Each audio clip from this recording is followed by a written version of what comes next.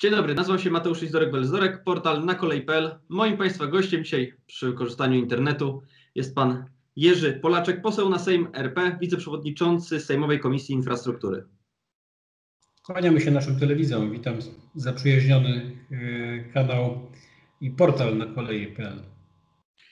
Panie pośle, chciałbym, żebyśmy porozmawiali sobie w pierwszej kolejności o programie Kolej Plus. E, program ten kształtował się jako spektakularny sukces współpracy pomiędzy rządem a samorządami. Jednakże dociera coraz więcej informacji do nas wraz z postępowaniem kolejnych przetargów na dokumentację o problemach samorządów z finansowaniem tego pro, programu. Czy skąd, skąd to może wynikać? Czy nie można było od razu przewidzieć tych problemów?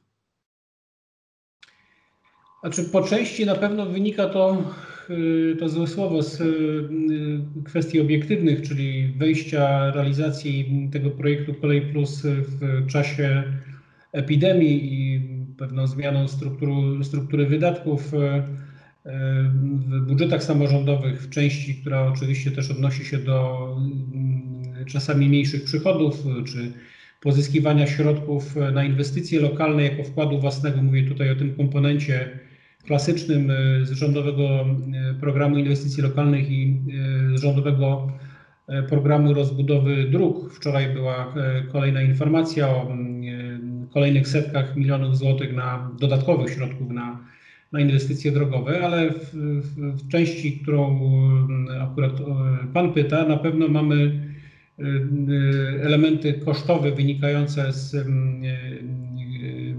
zakładanych budżetów do, potrzebnych na realizację dokumentacji, ale również pewnych tutaj, jak sądzę, rozbudowanych oczekiwań, które no są, bym powiedział, też dość, dość wyśrubowane. One powiedzmy przede wszystkim przekładają się później na koszt końcowy Y, modernizacji czy budowy mm, jednego kilometra przysłowiowej linii kolejowej. E, no i tutaj oczywiście y, ze strony samorządów i ze strony oczywiście mm, państwa musi w końcu tego procesu być przede wszystkim również widoczny ten klient, ten pasażer, po to, aby wydawać setki czy miliardy złotych na infrastrukturę, musi tam się znaleźć odbiorca, musi być ta konkretna propozycja oferty regionalnej, e, a to się zawsze wiąże również z tą relacją, powiedział, e, jaką e, generalnie samorząd terytorialny, zwłaszcza wojewódzki, ma do sektora kolejowego i do budowania oferty kolejowej w regionie, a z tym historycznie zawsze akurat bywało różnie, bo mieliśmy i przykłady wyjątkowo, bym powiedział, takie mm, e, dobre i pozytywne, ale również traktowanie w niektórych regionach historycznie, e, cofając się o kilka czy kilkanaście lat, e, bardzo po macoszemu. Także tutaj to jest suma doświadczeń i dobrych i tych mniej, można powiedzieć, ciekawych. No właśnie, jeżeli chodzi o doświadczenia, na chwilę obecną już widzimy, że pierwsze samorządy wycofują się rakiem z deklaracji, jakie przekładali na realizowane projekty w Kolei Plus, ponieważ jeżeli na etapie już dokumentacji y, koszty organizacji tej dokumentacji są już przewyższają zupełnie możliwości, obawiają się, że również w momencie, gdy doszłoby do realizacji tych inwestycji, może zabraknąć im środków. Y, co z tym może zrobić rząd? Czy, czy jest jakiś pomysł, jakaś możliwość dofinansowania z jakiegoś innego programu, y, do, dorzucenia z, z, z jakiegoś innego woreczka do innego woreczka pieniędzy? Nie, to jest zawsze kwestia oceny, oceny tego komponentu, jakim jest część programu inwestycji kolejowych Kolej, Kolej Plus w relacji do tych inwestycji podstawowych. Tutaj mówimy o dziesiątkach miliardów złotych, weszliśmy już w nową perspektywę finansową, natomiast Myślę, że tam, gdzie samorządy widzą w tym interes publiczny i widzą tych przyszłych w niedalekiej przyszłości klientów, pasażerów, no to myślę, że to jest e, element trwałej postawy i można powiedzieć ograniczenie pewnej chimeryczności tych deklaracji, ale przede wszystkim kontynuowanie tych projektów, które są już rozpoczęte. Także tutaj mówimy w kontekście, o którym Pan pyta, że rzeczywiście ten trudniejszy okres polega generalnie dla wszystkich inwestorów, dla wszystkich zamawiających, który jest związany z procesem przygotowania realizacji inwestycji w czasie pandemii, bo tu wchodzimy również w różnego rodzaju potencjalnie klauzule kontraktowe wynikające z opóźnień, choćby te, tam, gdzie trzeba przeprowadzać konsultacje społeczne czy uzgodnienia środowiskowe. Te doświadczenia są takie, iż jednak to wpływa na tempo realizacji projektów, na tempo również przygotowania dokumentacji, o którą Pan pyta i również oczywiście na koszty. Także myślę, że na pewno nie rekomendowałbym takiej postawy, która jest wycofaniem się z tych, z tych deklaracji i umów, które do tej chwili zostały podjęte i ewentualnie szukanie potencjalnie po stronie budżetu państwa czy funduszy europejskich jako tego najtańszego pieniądza, wzmocnienia po prostu tych, tych projektów, które są w fazie zaawansowanego przygotowania czy w fazie realizacji.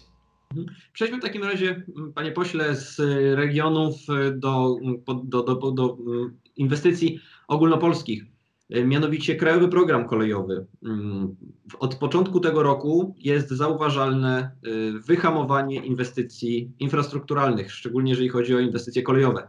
Branża budowlana obawia się powtórki z ostatniego kryzysu gospodarczego. Z czym to jest związane? Czy uda nam się zamknąć ten krajowy program kolejowy, tej, tą, czyli tą starą perspektywę, dociągnąć ją do końca? Jak tutaj, jaka jest przyszłość tego, tego programu?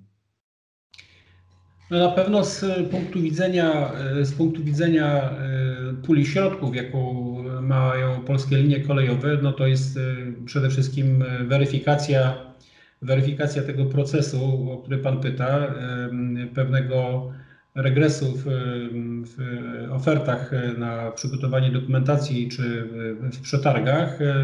Myślę, że niebawem taki, taki temat może analizować na pewno Komisja Sejmowa, która, mówię tutaj o Komisji Infrastruktury, dlatego że jest to jeden z głównych beneficjentów, mówię tutaj o polskich liniach kolejowych, środków europejskich, no ale przede wszystkim, tak jak powtarzam, z z naciskiem, e, to jest e, również e, przede wszystkim wydatek i inwestycja dedykowana pasażerowi. No, dałbym przykład bardzo konkretny, myślę, obrazowy dla, dla każdego z, można powiedzieć, mieszkańców choćby południowej Polski. Niedawno oddany odcinek po modernizacji linii kolejowej Jaworzno-Szczakowa E, Kraków. Mówię tutaj o tym odcinku powiedzmy nazywanym e, Katowice, e, Katowice Kraków. To jest projekt zrealizowany za ponad 2 miliardy 300 milionów złotych. Mamy nową ofertę czasową dla klienta przewozów regionalnych i kolei śląskich od kilku miesięcy. Można zadawać tutaj pytanie, w jaki sposób na przykład ta oferta dla klientów poruszających się między Krakowem, Katowicami, Opolem, Wrocławiem może być jeszcze zmodyfikowana na przykład od grudnia bieżącego roku po kolejnym nowym rozkładzie jazdy, a myślę, wydaje, że e, choćby wysiłek polegający na modernizacji kilku takich w cudzysłowie wąskich gardeł, na przykład pomiędzy Mysłowicami, Katowicami, gdzie są duże ograniczenia, czy w okolicy Opola Groszowic, czy w okolicy y, stacji Gliwice Łabędy, wtedy y, może dać to efekt, w którym, w którym y, pasażer jedący z Wrocławia przez Opole, Katowice do Krakowa powinien mieć ofertę i kosztową, i czasową poniżej 2,5 godziny, a to już jest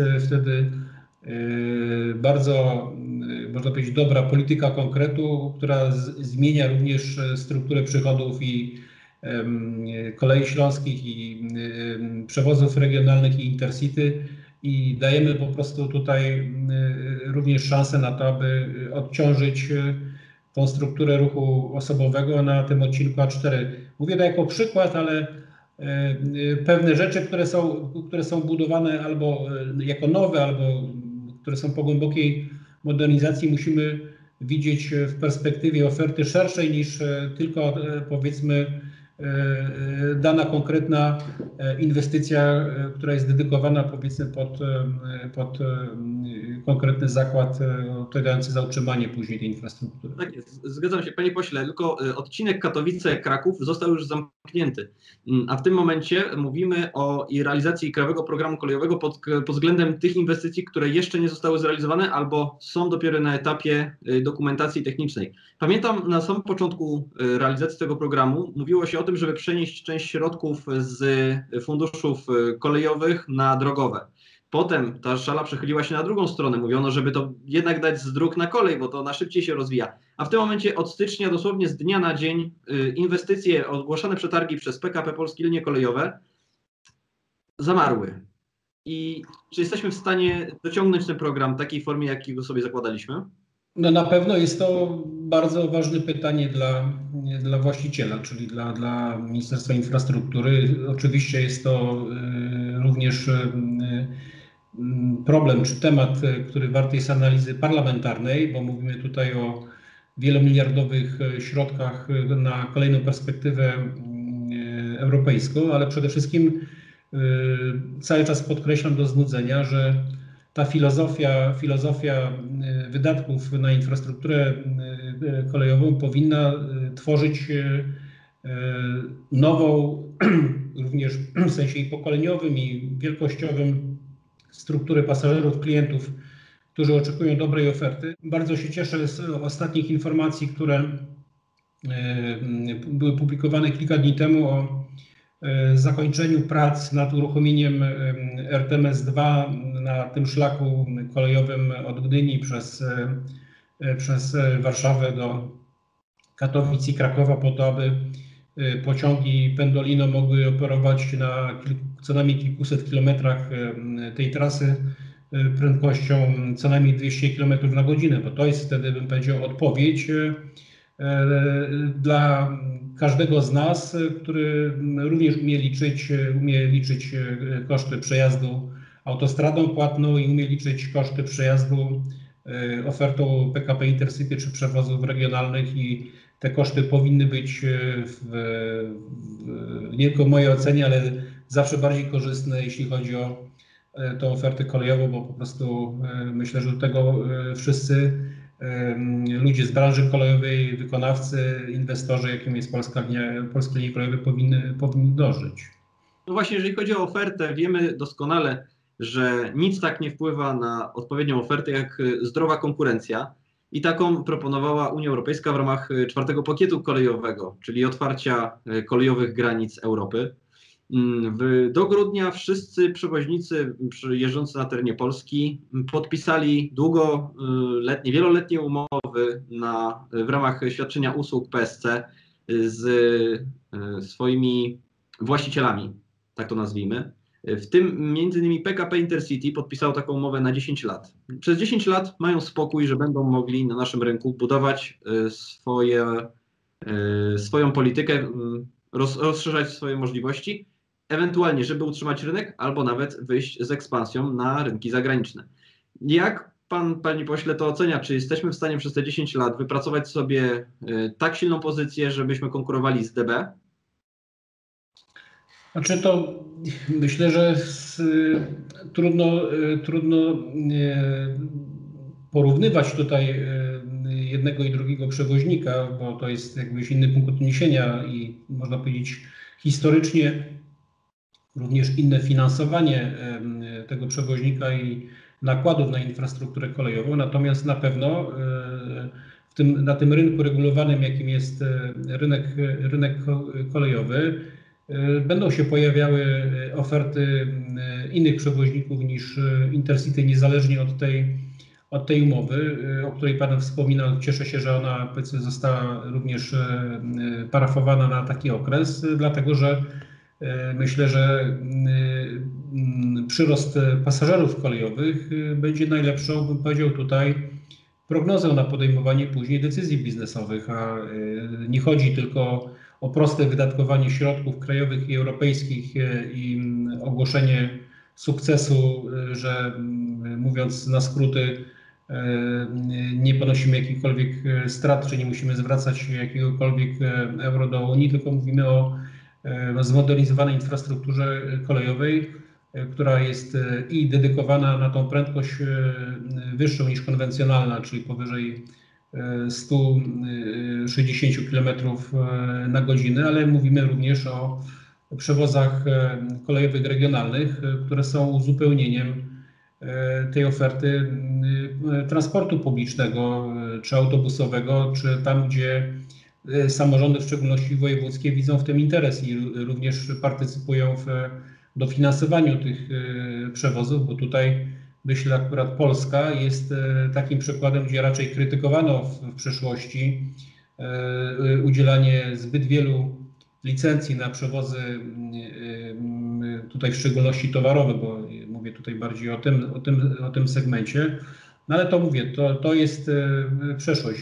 Naszym celem jako państwa, myślę, że to jest celem również rządu polskiej linii kolejowych i samorządów, jest bardzo znacząca zmiana struktury mm, w transporcie publicznym, która daje kolei naturalną podstawę do przede wszystkim e, mm, nieponoszenia strat i do dobudowania po prostu tej pozycji rynkowej wespół również z innymi e, partnerami, bo to jest system naczyń e, połączonych. Mówimy tutaj o integracji oferty, choćby autobusowej, metropolitalnej, miejskiej w relacji do przewozów regionalnych, o mm, kwestiach dostępności E, i funkcjonalności zakupu biletów, e, o kosztach z tym związanych itd. Tak itd. Tak Czyli jeżeli uda nam się wszystkie te elementy ze sobą połączyć, to powinniśmy być raczej spokojni o ten, o, o tą naszą, o ten transport publiczny i że nazwijmy to, obcokrajowcy nie wejdą nam tutaj z buta i nie będą nam tej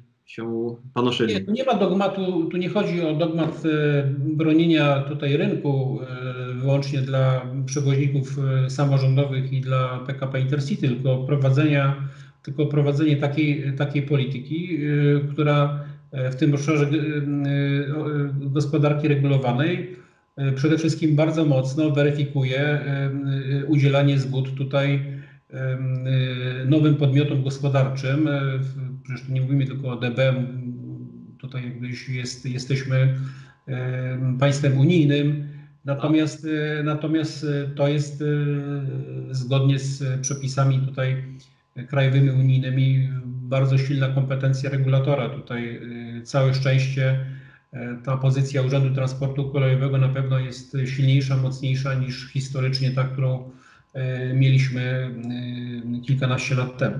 I z tego akurat się cieszę obawiać zagranicznej konkurencji dla polskich przewoźników. Co?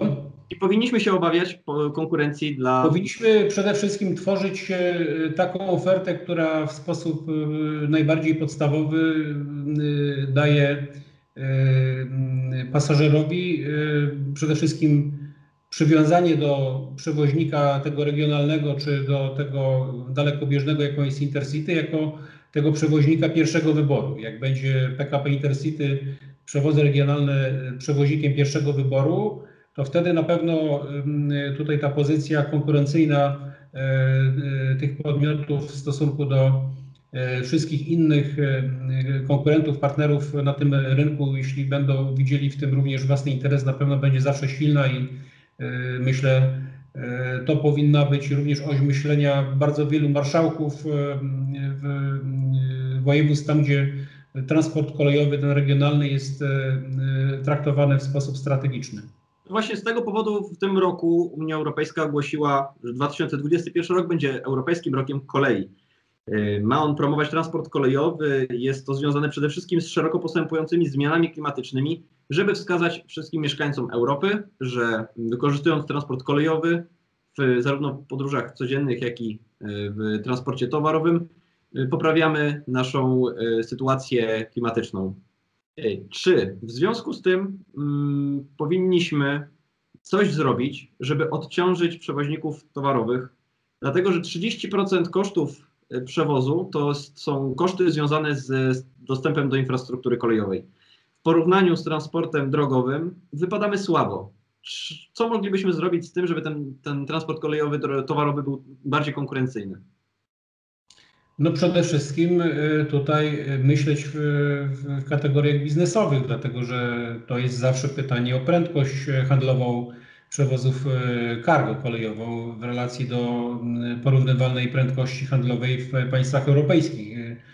Jeśli powiedzmy 7-8 lat temu ta prędkość handlowa dla przewozów towarowych, kolejowych wynosiła 27 km na godzinę, a w, Francji czy w Niemczech ona oscyluje między 40 a 50, no to to jest e, pytanie, w jaki sposób również e, e, te inwestycje na sieci kolejowej, tam gdzie jest ta dedykacja dla oferty, dla oferty cargo, wpływają po prostu na E, na czas przejazdu, na budowanie po prostu również e, e, projektów, można powiedzieć, takich bardziej zintegrowanych, gdzie Polska może je promować, promować również jako rozwiązanie na forum europejskim. Tutaj, jeśli chodzi o w przyszłości, mówię o łączenie transportu na relacje Azja-Europa, łącznie z wykorzystaniem choćby Odry i tak dalej. To są takie pytania strategiczne, kluczowe. To jest e, pytanie o to, jaki, w jaki sposób wykorzystamy e, dla promocji transportu towarowego te miliardy, dziesiątki miliardów złotych, które dzisiaj pracują, powiedzmy, na rzecz terminowego zakończenia tych inwestycji. Dla mnie Pytaniem e, e, i oczekiwaną odpowiedzią jest e, pytanie o ofertę średniej prędkości handlowej dla przewozów towarowych, które są porównywalne i powinny być porównywalne z ofertami przewoźników w państwach zachodnioeuropejskich, bo to będzie wtedy równoważne, a jeśli mówimy o interoperacyjności, tutaj w tym klasycznym tego słowa znaczeniu to jest to również e, przecież e, e, możliwość operowania na rynkach, na rynkach zagranicznych. No to jest pytanie o przepustowość tych linii dedykowanych dla transportu towarowego. To są pytania dla fachowców, dla inżynierów, ze wsparciem oczywiście rządu, ze wsparciem polityków, którzy te zagadnienia rozumieją, dlatego że te rozwiązania również tworzą przyszłość dla oferty towarowej tym bardziej, a co chcę podkreślić, że rozszerzenie poboru elektronicznego e, na sieci autostrad i dróg ekspresowych dla tego transportu ciężkiego daje wtedy e, te porównywalne koszty, które zawsze niestety ponosił przewoźnik e, kolejowy. I tutaj te pytania o czas dostarczenia towaru, o konkurencyjność tej oferty kolejowej będą coraz bardziej y, y, konkretne, coraz bardziej szczegółowe, wtedy kiedy Polska zgodnie z y, możliwościami tutaj, jakie zostały wypracowane w relacjach unijnych, będzie systematycznie rozwijała tutaj tą sieć autostrad i dróg ekspresowych objętych poborem elektronicznych opłat od przejazdów TIR, bo to są również, pamiętajmy, to są również opłaty, które uiszczają przewoźnicy zagraniczni przejeżdżający przez, przez terytorium Rzeczpospolitej Polskiej. Warto po prostu o tym pamiętać. Czyli z tego co rozumiem, nie y, odciążymy z opłat y, przewoźników kolejowych, tylko zrównamy transport drogowy do kolejowego. Panie dyrektorze, to jest pytanie dla, dla regulatora, dla, dla e, instytucji, która kształtuje tą politykę cenową.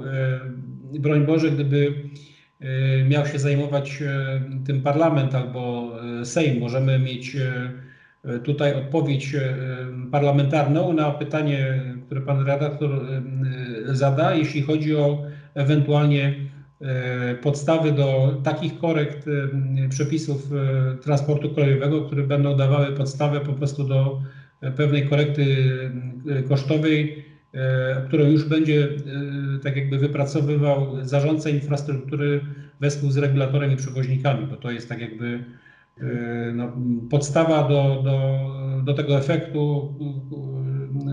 Myślę, że tutaj akurat nie ma, nie ma jakiegokolwiek między nami sporu, bo chcemy bardzo, bardzo sporą część tych ładunków przewożonych autostradami i drogami ekspresowymi na pewno ulokować w ofercie kolejowej, tej krajowej i zagranicznej.